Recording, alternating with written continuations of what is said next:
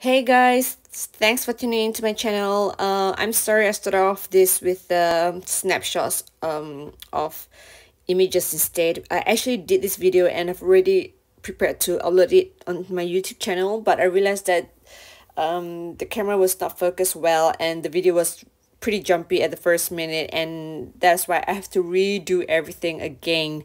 So this took a lot of time to edit and um but I still hope you guys enjoy this video anyway. So I miss my mom's hometown in Malaysia which is Sarawak which is the east of Malaysia. And um, it's famous for the great hornbills and the tropical weather. So I want this place to be flowery to remind me of that tropical weather and the whole Malaysia vibe to it now before this, um, I actually painted on a wooden panel which is about 148 centimeters times probably about 86 to 90 centimeters. So this is pretty big. What I did was uh, I did four coats of gesso and I sand it in between. When the gesso is dry, I will sand it and then gesso again and then wait for it to dry and then sand it again. So this process took a few days um, to prep and after that I uh, painted over the base color which is uh, Amsterdam's uh, titanium buff white because that will be my base color. So I painted that. So there, there are five coats on this um, board and I've prepped everything before starting starting out. So um, so this yeah this piece takes a really really long time to finish. So as you can see I pour paste at specific areas only because I don't want to flood this surface with too much paint. If you do that, the whole thing will be ruined by by um, the tension, um, the surface tension. And so because of that, I created my own techniques, which is the detail pour, where you only pour paints at specific areas where you need them only. Otherwise, if the, the paints are mixed too much, you get you get murky and you know it's gonna spoil the whole design and you can't have you can create details with it. So because of that I just pour paints where I need the paints to be and after that I just pour on the sides um, so that the paints can run a little bit but not too much. So this is called detail pour. And then later on you you get to learn another te technique which is um stitch pour which I'll explain later. That technique you use because if you can't finish this painting in a day um then you know you can always continue your pour the next day. So these are two techniques that I've created and I hope you guys can learn a thing or two from it. If you're new to my channel please help to subscribe because by doing so you actually help me to create more videos for you guys and I really want to create more stuff because I still have a lot of things to show you guys. So please hit the subscribe button please like the video and please comment because I love to hear from you so from for my second technique which is the stitch technique if you are if you are familiarized with my detail pour and you're familiarized with the first part of the detail pour which is to pour paints at specific areas you can skip this part to to the middle where I'll explain what um, stitch technique is all about now here comes the fun part, basically just uh, for the background, I'm just going to splatter paints here and there of different colors. Um, but of course I have image in my mind, uh, as I said that I want this to be a tropical um, piece. So the background I want it to have a lot of flowers, a lot of leaves. So I've already prepared the leaf colors and the flower colors as well. So I'm just going to, to you know, throw the paints around and blow them into shapes as well as to mix the colors together while blowing and I'm going to use the balloon swipe technique to get patterns of the petals and leaves.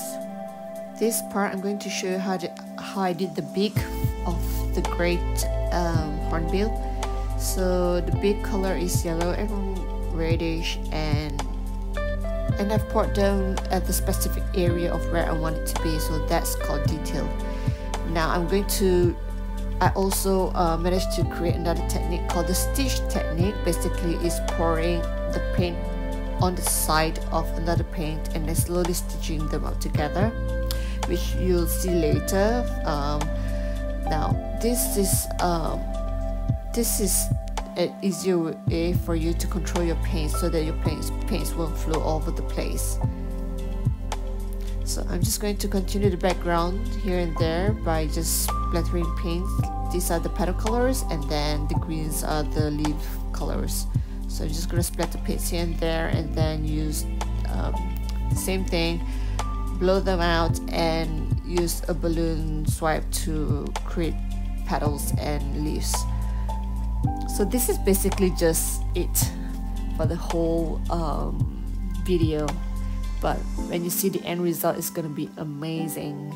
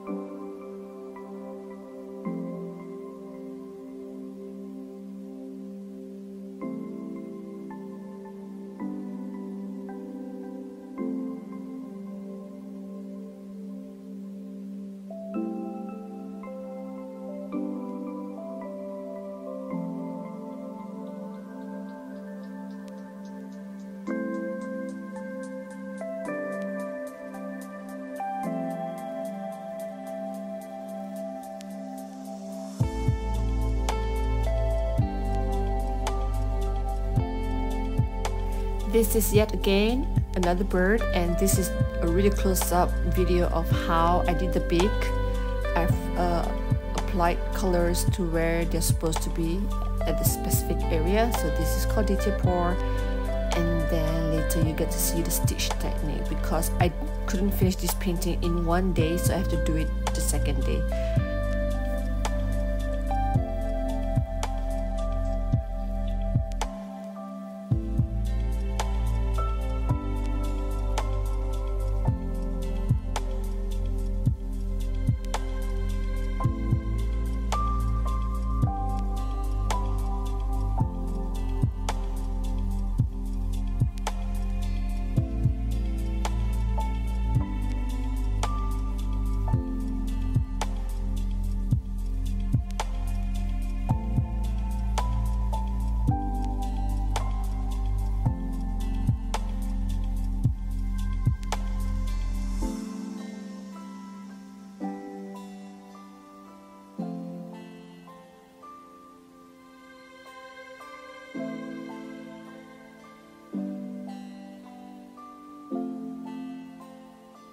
Now throughout the video you get to see how the paints run. So they run because it's either the paints are too runny and also they run because there are surface tension that happens.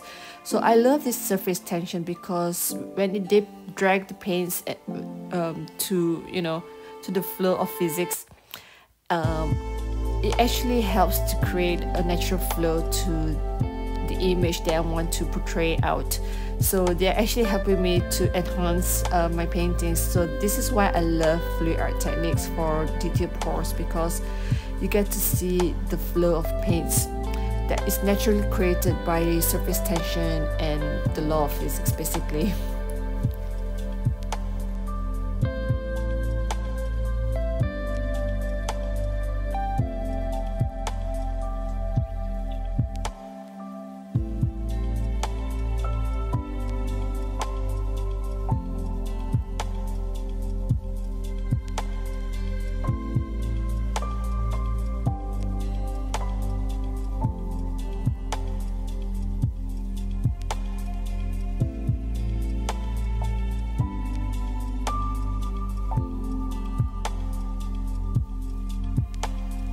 So this is the next day. Uh, I painted this during winter, so the weather is really dry, and um, as you can see, half of the paints are already dried just in a day.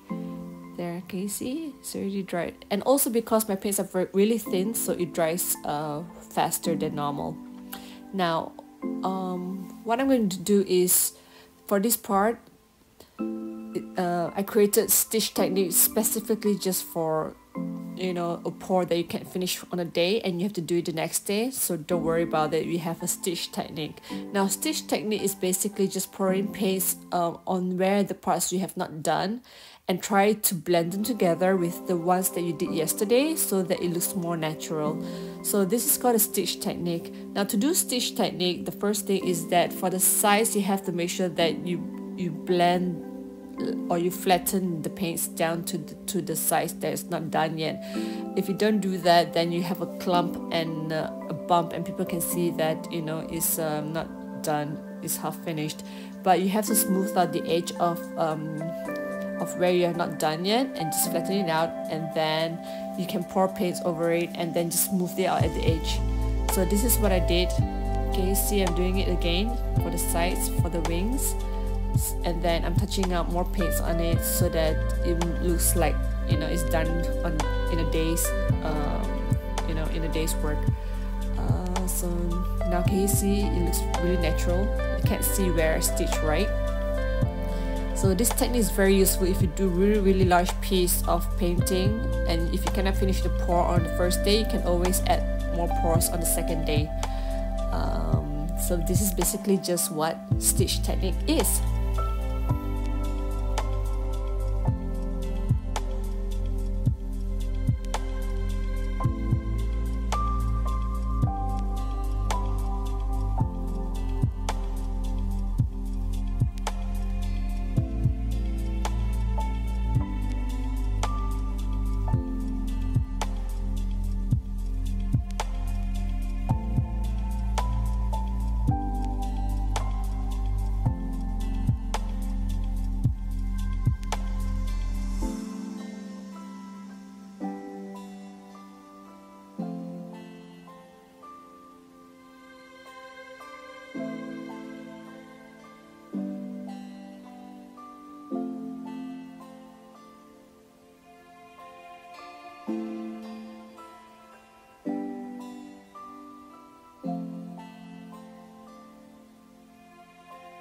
Alright, so fast forward, I'm almost done with this painting. Um, this is the end result. Look, it is really beautiful, isn't it? Now I slow down this video so they can see the details properly. Look at the beak, the eyes, the horns above the head and look at the body where the greens and yellows are. Those cells are naturally produced by just paints and water.